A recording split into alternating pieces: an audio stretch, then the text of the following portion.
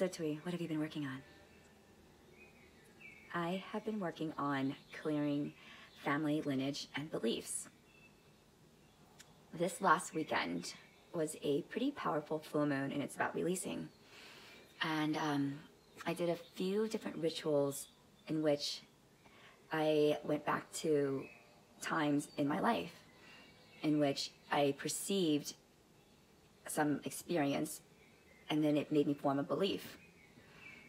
This time, though, it was very different because it was about vows that I made. One of the vows was with my mother. And we were very, very poor growing up in California because she's a single immigrant mom of two kids and we escaped from Vietnam. And we went to the grocery store. I wanted to ride a mechanical horse. I asked her and she said we didn't have the money or the time.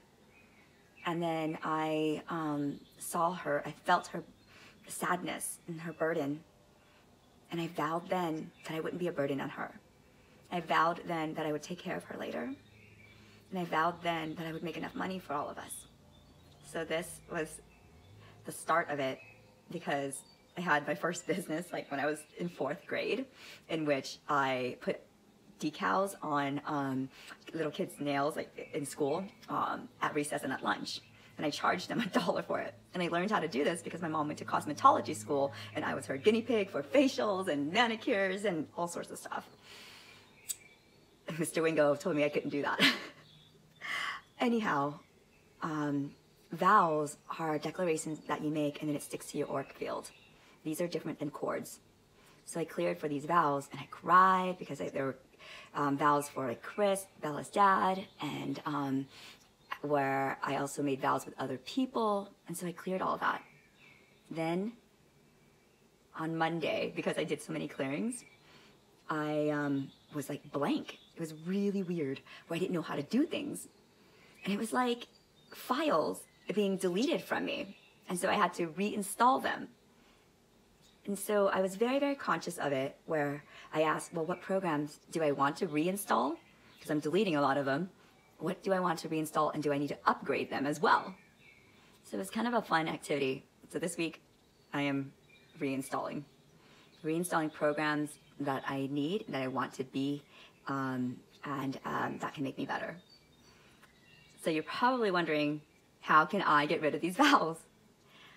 Well, one of the first step is uh, to be aware of them and perhaps writing them down. And then um, there's lots of ways through sound vibration and definitely breathing, getting yourself relaxed, uh, checking in with your heart. You can do whatever ritual you want. I love the water release rituals where I put it, my intention on a piece of paper and I release it into the water.